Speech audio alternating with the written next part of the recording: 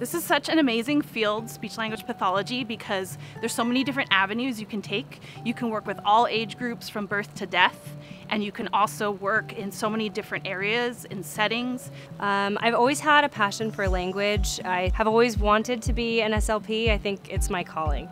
Uh, so I decided to pursue this degree, which was a distance learning program, uh, because I had a background in ESL education and I was interested in working with individuals with communication disorders one-on-one and in small group settings, which is what uh, speech language pathologists are able to do.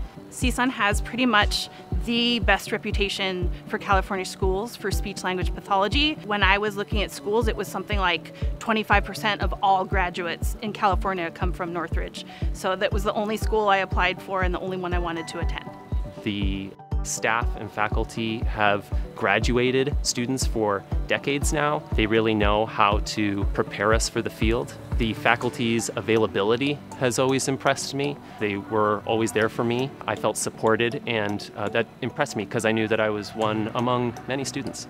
The cohort model has greatly impacted my experience in this program.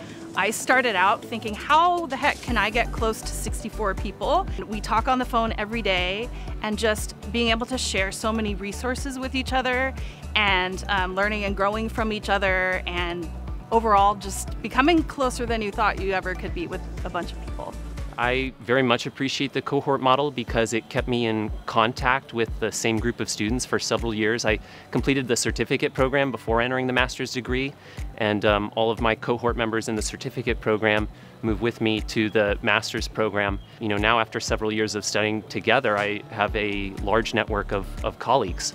I got married, I had two children, and I worked full-time actually as a detective for a local law enforcement agency. The fact that this was a cohort program that was online allowed me the flexibility to do all of those things and live an entire full life while at the same time pursuing this degree that means so much to me.